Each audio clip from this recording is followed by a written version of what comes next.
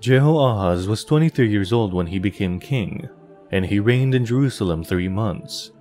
His mother's name was Hamutal, daughter of Jeremiah. She was from Libnah.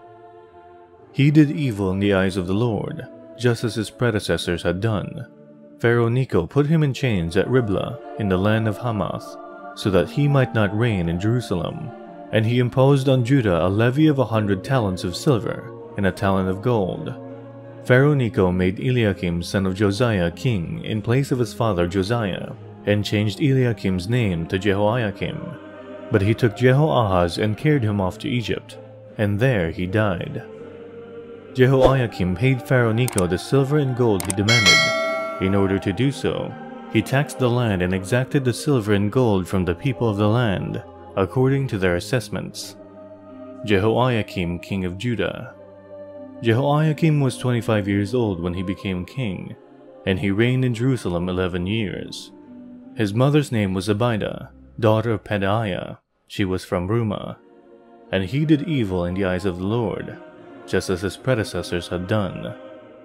During Jehoiakim's reign, Nebuchadnezzar, king of Babylon, invaded the land, and Jehoiakim became his vassal for three years.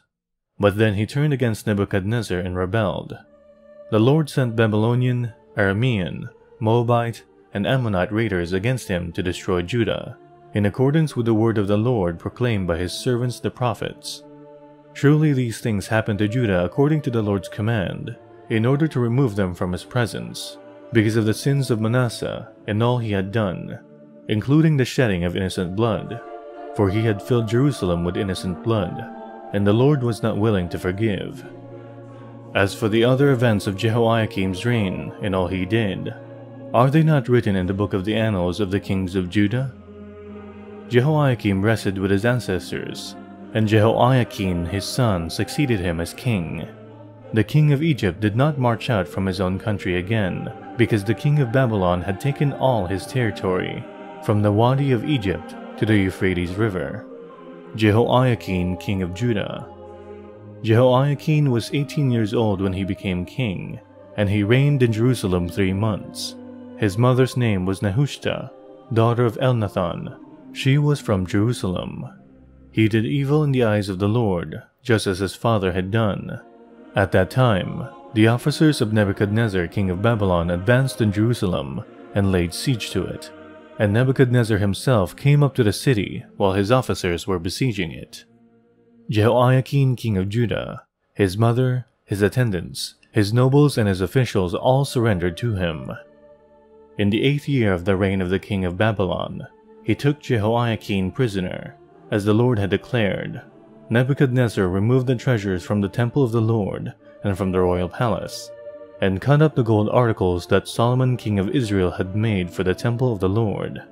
He carried all Jerusalem into exile, all the officers and fighting men, and all the skilled workers and artisans, a total of 10,000. Only the poorest people of the land were left. Nebuchadnezzar took Jehoiachin captive to Babylon. He also took from Jerusalem to Babylon the king's mother, his wives, his officials, and the prominent people of the land. The king of Babylon also deported to Babylon the entire force of 7,000 fighting men, strong and fit for war, and a thousand skilled workers and artisans. He made Mattaniah, Jehoiachin's uncle, king in his place, and changed his name to Zedekiah. Zedekiah, king of Judah. Zedekiah was 21 years old when he became king, and he reigned in Jerusalem 11 years. His mother's name was Hamutal, daughter of Jeremiah. She was from Libnah. He did evil in the eyes of the Lord, just as Jehoiakim had done. It was because of the Lord's anger that all this happened to Jerusalem and Judah, and in the end, he thrust them from his presence.